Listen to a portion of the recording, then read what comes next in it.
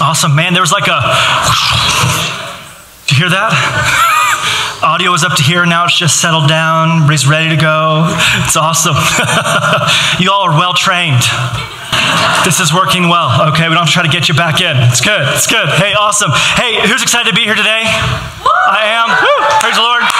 Man, it's so good to see your faces, and we're excited for week number two of Hard Things Jesus Said. And uh, guys, we're in this series right now. We're just looking at some of these passages in Scripture where Jesus said some hard things, right? It's like, really, Jesus? That's what you mean? Like, what is he trying to say here? We're leaning into that because, guys, oftentimes we read this, we go, ah, you couldn't have meant that, or oh man, I'm just terrified by that. Next week is especially terrifying, and uh, especially for believers, okay? It is. It's a, it's a text that if you read it, you're like laying in bed at night going like, hmm, I hope I don't die tonight. okay? So we're going to hit that next week. But this week, I'm excited for what God's going to be doing. And in this series, church, we've been anchoring out of this Psalm 1914. It just says this Let the words of my mouth and the meditation of my heart be acceptable to you in your sight, O Lord, my rock and my redeemer. And that, that verse, guys, is just such a uh, profound truth for somebody, isn't it? That the words of our mouth, because so often those aren't, right? They're just not. And, and yet the Lord is calling us into that. And so often, guys, the reflection of our heart, the desires that we have, the things that are coming out of our heart are anything but what we would say is acceptable to the Lord, yes? I mean, come on. We can't control our tongue, and yet we have a heart issue, right? And James says, from the overflow of the heart, the mouth speaks, right? That's where our words come from. It's this well that's pouring out this kind of stuff. And, and the Father's going, like, I want to deal with your heart. And so Jesus comes to the earth and he says, I'm going to deal with the heart. As we've been trying to do out here, we're going to deal with what's happening in here, yes? And so I'm excited for God to continue in this this morning as we lean in. Um, our prayer again is that we would, we would walk through this text, guys, that God would, would make our hearts reflect his heart his heart for the nations, his heart for his people, his heart for others, um, and his heart, uh, ultimately, God would be, he would, he would fill us with a heart that loves him and desires him above all else. And so that's a lofty goal, yes, and uh, it's a lot of pressure on one sermon. So if y'all don't leave with that today, you know, that's on you. but anyway, let's pray. Father, what a delight to be here, a part of your house be in your presence. God, it, there's, there's so many reasons why you should exclude us from your house, and yet you open the doors wide open and you say, Welcome in, come in, sit at my table. We're not sitting outside begging on the street corner. God, we're, we're right here in your presence. Church, let that just melt your heart this morning for the Lord, that He's the God who draws near.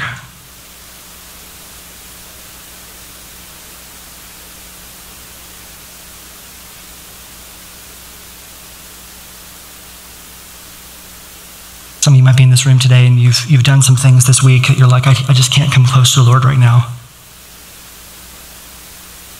The Lord's just inviting you right now. And before we get going,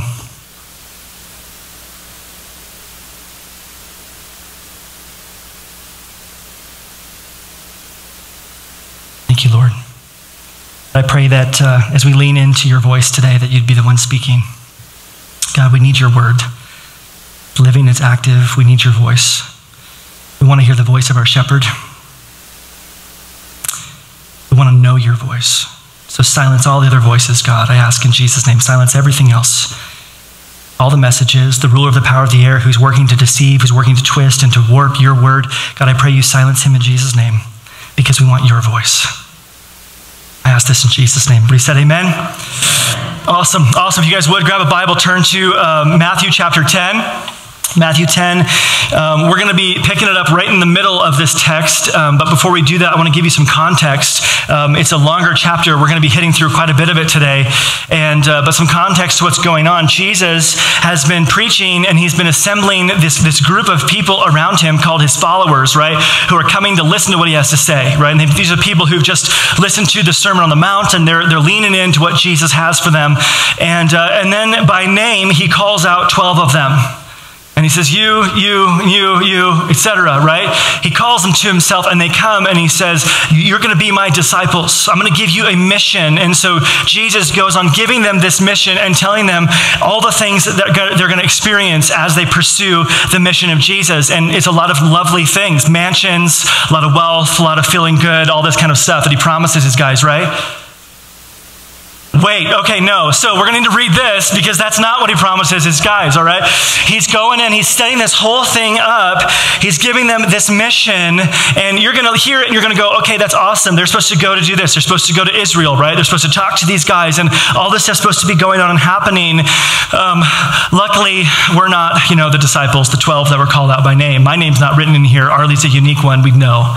Um, but unfortunately, he gives them a mission, but he gives us the Great Commission, okay? So he levels it up and says, no, no, no. They were to go to Israel. You're to go to the whole world, y'all. And that's every single one of us who's a believer. And so we want to lean into this because as he's setting this up, he's speaking into the things that we're also going to experience in our life, the things that we're going to experience as we seek to live out on his mission and to do the things that he's asking us to do. But what's amazing to me is of these 12 guys that he calls together, um, nobody would assemble this team. Nobody. If you read a business strategy book, if you read organizational leadership structures, if you're familiar with any kind of way of picking somebody for a team to play dodgeball, you're not going to assemble this group, okay? These guys are, are diametrically opposed to each other at the table from wherever they sit. For every person who's an A, there's a solid B over here, okay? And on and on it goes. There's guys who are pro government, guys who want to take down the government, guys who are cheating people by the government. There's doctors, there's lawyers, there's physicians. I said that already, but I was just checking to see if you're catching it. Right? There's fishermen, okay? Jesus himself is a carpenter. And there's these guys, and guys, these dudes hate each other. like they culturally do not get along, they do not mix. And Jesus says, Hey, come have a seat at this table together. We're going to go change the world. Come on. None of us would choose that team, but Jesus chooses that team. Praise the Lord. Yes? Man. And he goes in here, and I love it because, church, he doesn't manipulate these guys into serving. He doesn't use them. He's not abusing them. He's not promising them something that he can't deliver. He's just telling them straight up how it's going to be. And this is what he says. And I want to read this with you guys. Uh, 10, verse 16. Here's what he says for these guys who are going to go serve him Behold, I am sending you out as sheep in the midst of wolves. Sign me up, Jesus. Glory. So be wise as serpents and innocent as doves. Beware of men, for they will deliver you over to courts and flog you in their synagogues. That's beat you. And you will be dragged, dragged before governors and kings for my sake, to bear witness before them and the Gentiles. When they deliver you over, when this happens to you, do not be anxious how you are to speak or what you are to say, for what you are to say will be given to you in that hour. For it is not you who speak, but the Spirit of your Father speaking through you. Brother will deliver brother over to death and the father his child, and children will rise against parents and have them put to death, and you will be hated by all for my name's sake. But the one who endures to the end will be saved. The one who endures to the end will be saved. When they persecute you in one town, flee to the next. For truly I say to you, you will not have gone through all the towns of Israel before the Son of Man comes. A disciple is not above his teacher nor a servant above his master. It is enough for the disciple to be like his teacher and the servant like his master if they have called the master of the house Beelzebul, that's Satan. How much more will they malign those in his household? The word of the Lord. Amen. I feel good. Right? This is his pitch these guys. Come and join my team where they're going to malign you, where they're going to flog you, where they're going to persecute you, where they're going to hate you, where they're going to drag you before governments so that they can subjugate you to the penalties of their laws. This is my team, Jesus says. Come join it. Come with me. Come and do this with me. And here's what's amazing, guys the disciples were lightly trained, barely equipped and sent out to speak words that they didn't even have. You notice he said, Hey, he'll, he'll tell you when you need it. right? They're not ready for this, right? They're like, they've been with him, they've been kind of following along, they've been doing their thing with Jesus, and he's going like, now I'm going to send you out and do this. This is what you're going to experience, though and you're under equipped, you're not ready, and you need to rely on the Father. How many of you guys just feel that in your own life? You're like, man, I, you know, you talk about Jesus conversations, you talk about sharing your faith with somebody. Like, I don't have the right words. I don't know. What if they ask me about propitiation? I don't even know what that word means, you know, and like, what do I do here? And, and yet, God is saying, but I take the people who are, are not the people others would pick.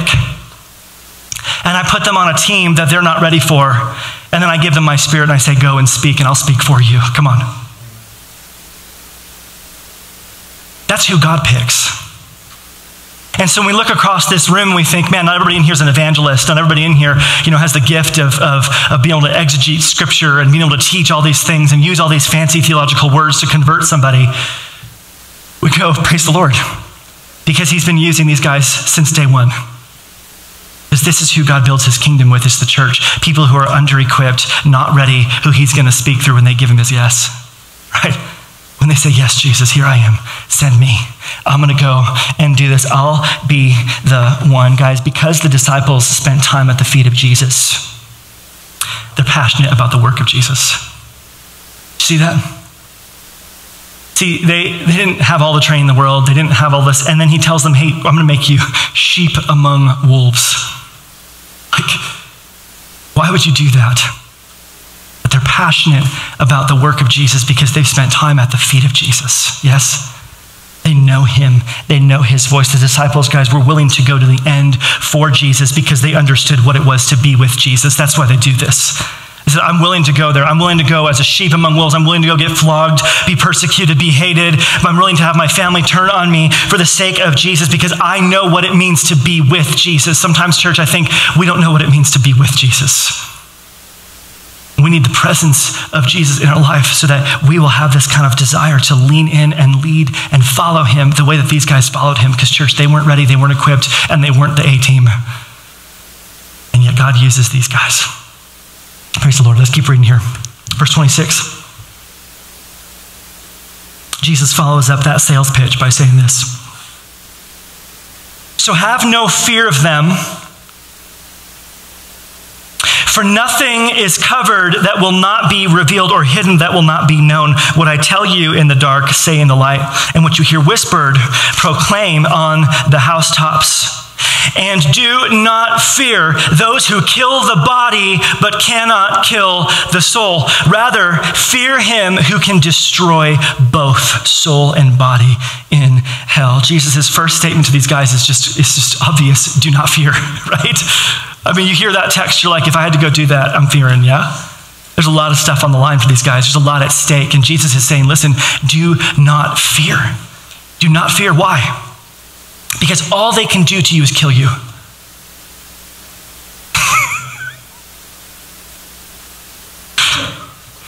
you guys missed that? Come on. all they can do to you is kill you. That's it. That's as far as it goes, right? They can't take anything else from you, but they can take your life. But he's going, listen, when you understand who I am, when you understand what's going on, what, who, who, you're, who you're living for, then when all they can take is your life, when you have that perspective, that they can't take anything else from you, you can press on without fear. But see, so often, so many of us are so used to spending our life worrying about our life that that's the only thing that we care about. Yeah. Like, that's a lot to risk. They can take my life. And we're not willing for that.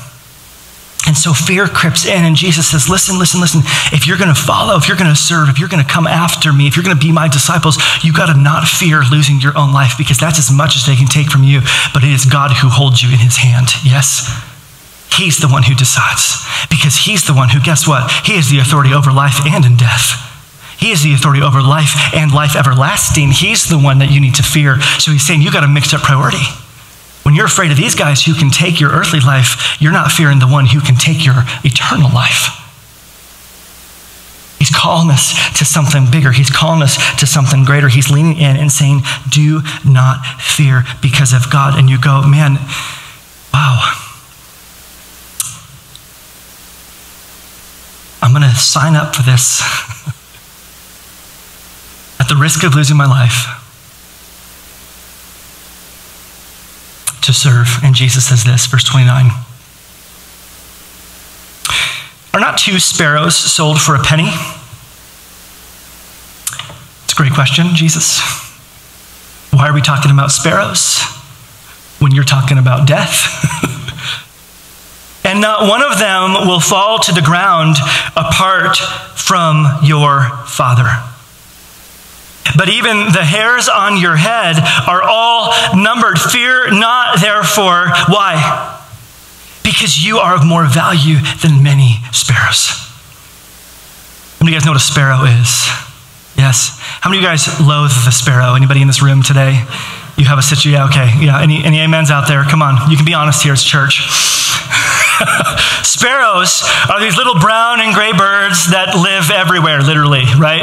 You go to any continent, they're there. They're always around. They're into things. In fact, the sparrow, I don't know if you guys knew this, but the sparrow um, is the only bird that we know of that actually needs human life to live. Did you know that? That it can only live up to 400 meters away from society. And when towns move on, when a culture moves on, a ghost town happens, the, the population of sparrows there actually goes extinct. Did you guys know that? Their life is sustained through your life being sustained. Did you know that? And God is saying here with the sparrow, He goes, Listen, this is an invasive species, right? It follows humankind all over the place.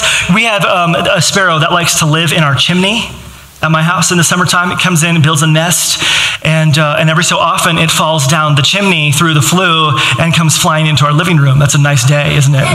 my wife will say. And, uh, and so then we are running like madmen through our house trying to catch this diseased little bird to get it out of there before it touches everything in our kitchen, right? Come on. It's a nuisance. Right? Everywhere they go, they're making messes, they're doing things, and yet God says, But I care, and not one of them falls to the ground in death without me approving it and knowing it. I hold their life in the palm of my hand as well. That's what God is saying. He said, Listen, but the sparrows, I care for the sparrows. He says, Your hair on your head. How many of y'all know how much hair you have on your head? Nobody in here got a good guess? Yeah. He's down to like one.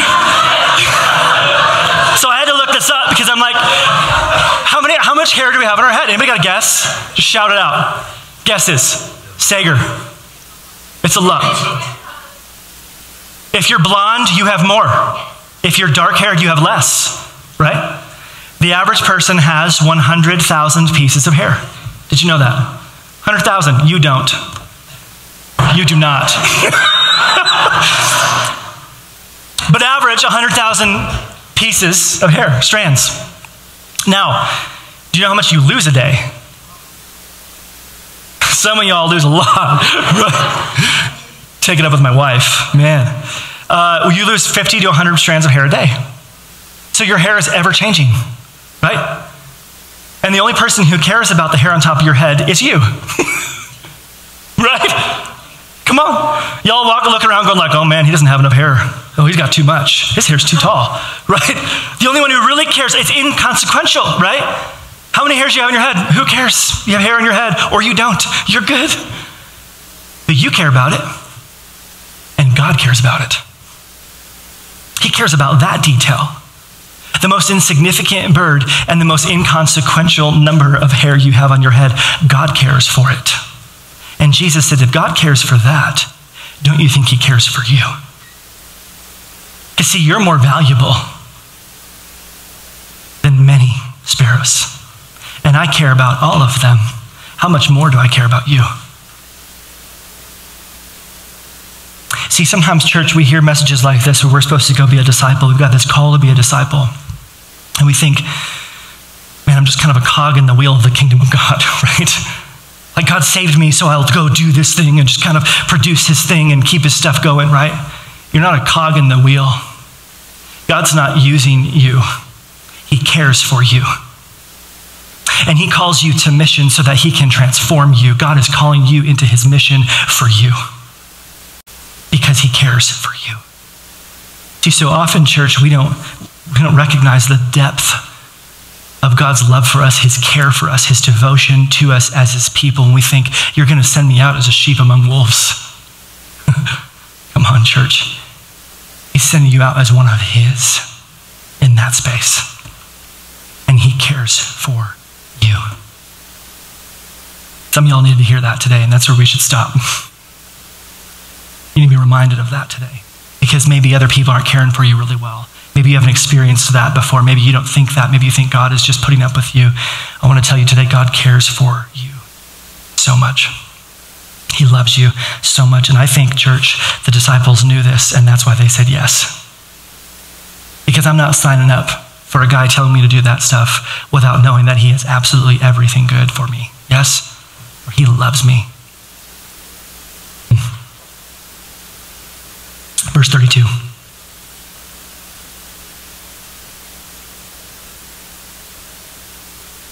So everyone who acknowledges me before men, I also will acknowledge before my Father who is in heaven. Come on. But everyone who denies me before men, I also will deny before my Father who is in heaven. Guys, Jesus is making an argument here right? He's saying, listen, I want you to go out and speak my, my gospel. I want you to tell people about the kingdom of heaven. I want you to, to tell them what's going on here. And, and your life is going to be lived in such a way that it's going to acknowledge me before men, right? The way you're living your life speaks to who Jesus is. Yes, he's saying, that's how you're acknowledging me.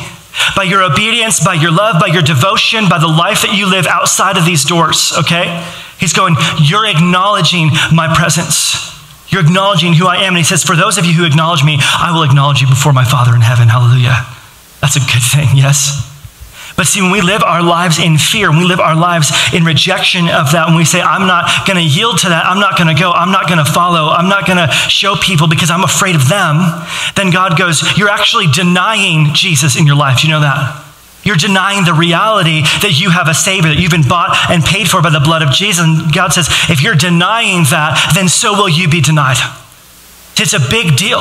He's saying, This is the God who cares for you, who loves you. He's the one who holds your soul. And He's telling you, Listen, here, the evidence of that in your life is your action in His mission. And He's going, Do not lean out of that. He's making an argument here, church. He's saying, because the Father cares for you and you have no reason to fear, then tell people about Jesus. Because the Father loves you and you have no reason to fear, then tell people about Jesus. Guys, you're not a cog in the wheel in the mission of God. God is not using you, He's positioning you and He's transforming you, guys, and you can't deny Him before the Father. That is what fear leads us to do, is deny. Your life speaks.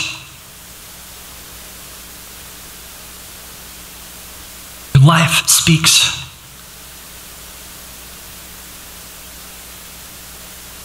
And fear sometimes, guys, is the loudest voice that we hear. Dietrich Bonhoeffer wrote this sentence from a prison cell in a Nazi concentration camp just weeks before he was killed. He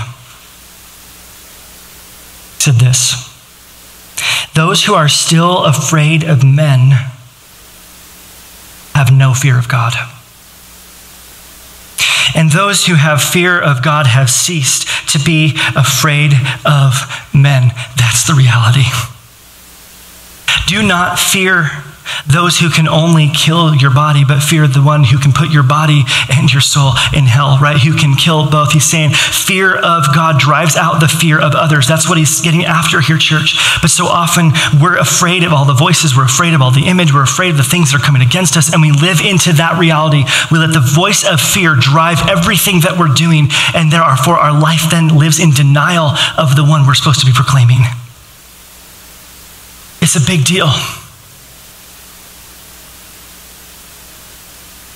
And guys, the thing is, is that it's not often for us that we're facing fear in the, in the Western church from persecution or from others around us or that kind of thing. I don't walk to my house and think, hey, if I live my life openly as a Christian, I'm going to face consequences. Anybody in here feel like you're going to? We, we don't have that. We don't have to fear that. These guys had to fear that. So, so often, the fear doesn't come to us in the form of that. It comes to us in the form of familiar faces. I want to go on with this text. It says this. Verse 34. Do not think that I have come to bring peace to the earth. This said from the Prince of Peace, everybody. Do not think that I have come to bring peace to the earth. I have not come to bring peace, but what? But a sword. Listen to this. For I have come to set a man against his father, and a daughter against her mother. That's what I've come to do. And a daughter in law against her mother in law. And a person's enemies will be those of his own what?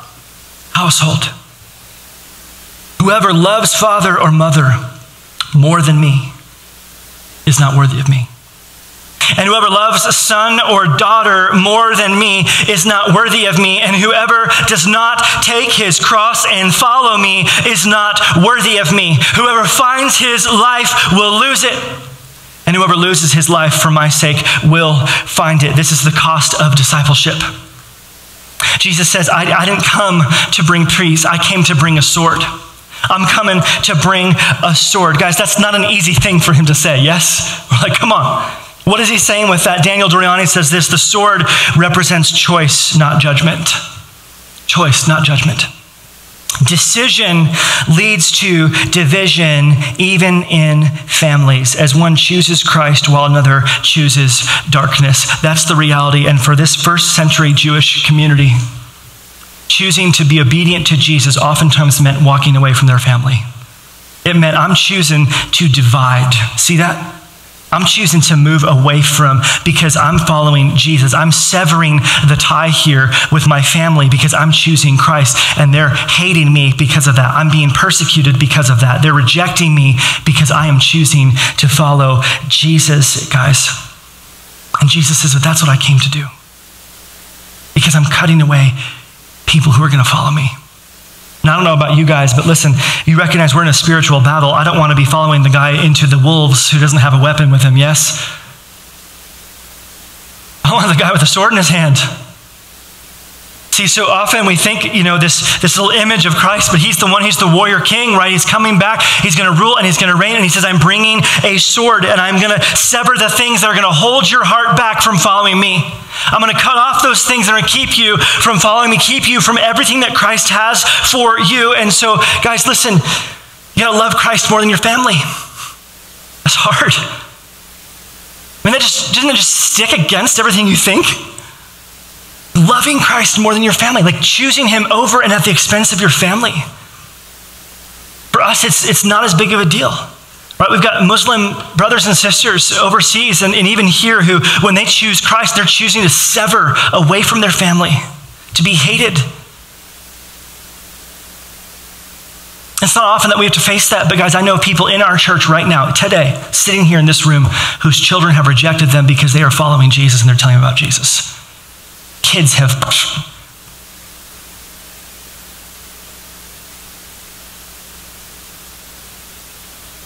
Jesus yet has a high view of family. He talks about it multiple times. But he's saying, if you're going to love me, if you're going to come after me, you got to be willing to sever with that. You got to be willing to give me your all. I'm going to be first in your life. He says, in fact, even over your life, right? Whoever does not take up his cross. As we have a, a romanticized view of the cross, yeah? We wear it around our neck put in our car to keep us from getting a car crash, things like that, right? And we're like, yeah, the cross, it's empty. It means victory, right? It means triumph. It's my hope. It's my future. We sing songs about it. It's glorious. It's a powerful truth. Remember, Jesus said this before he went to the cross. He said, Take up your cross before he went there, before there was victory. And what does the cross mean, guys? It means suffering, sin, shame, death, agony to put up is less than human, even. It's demoralizing, shameful. And Jesus says, Take that on. You're going to follow me. That's what you're going to take on. Think about that, church.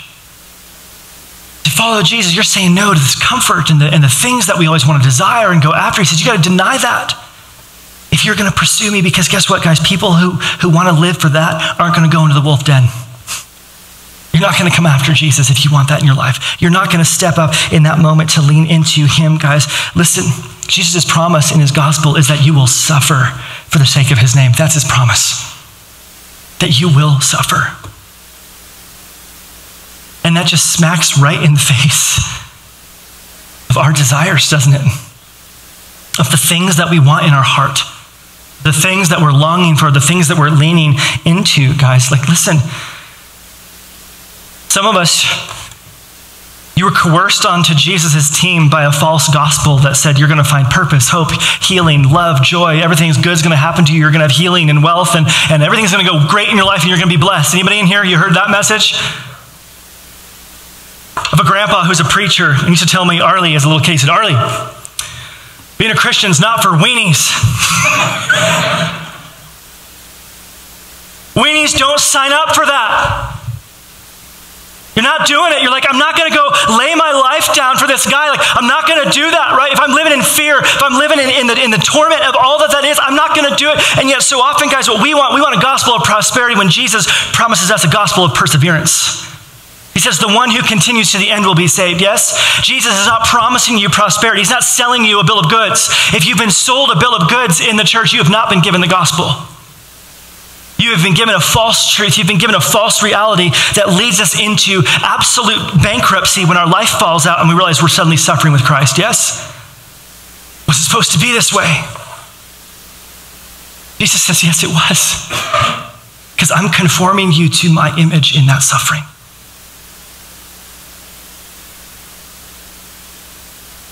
But Jesus doesn't leave it there, guys. He goes on, verse 40. Whoever receives you receives me.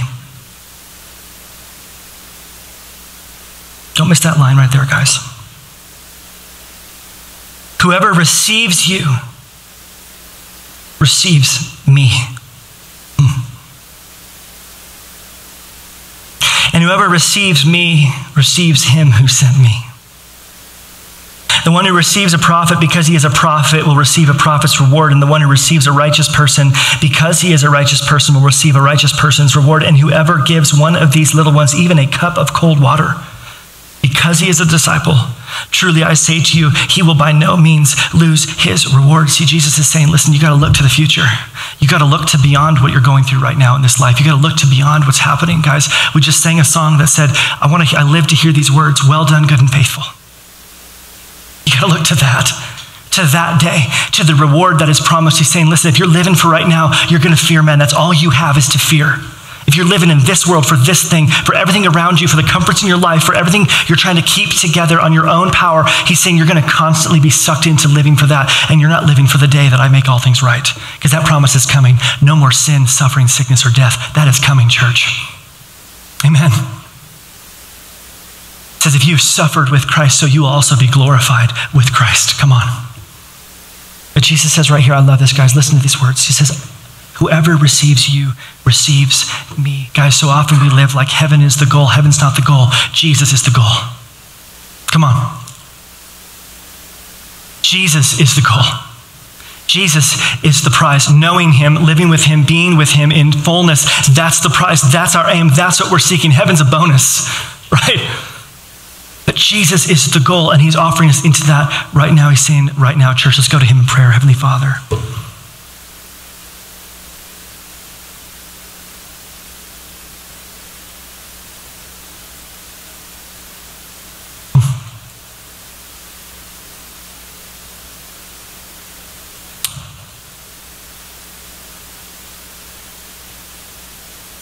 We need a larger vision.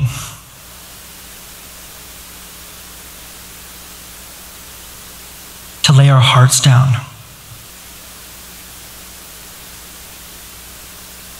At the cross.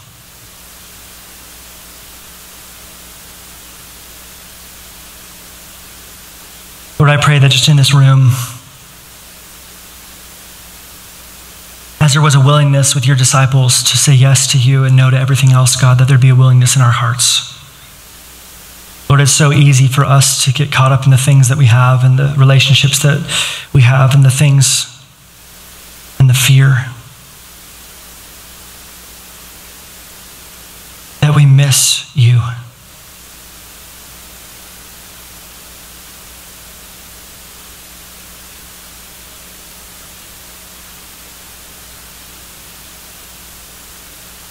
As I pray right now that you just help us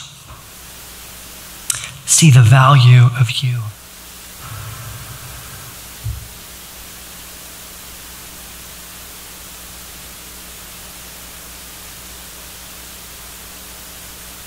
And the purity of your love towards us, God. Help us to fear you. Help us to live our lives in that name, God. We're seeking you.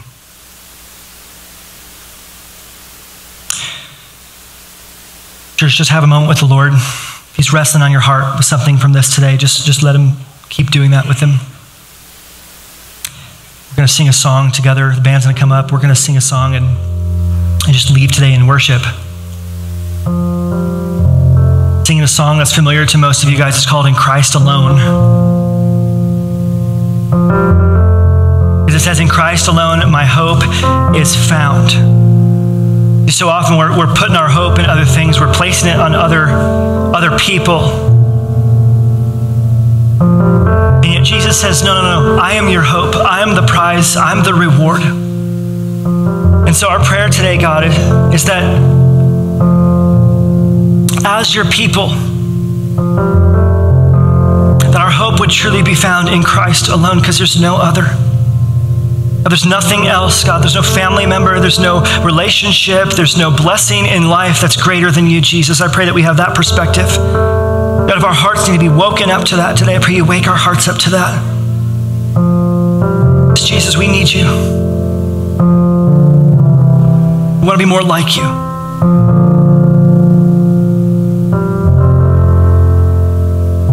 Let's lean into that for a moment, church, and we'll sing.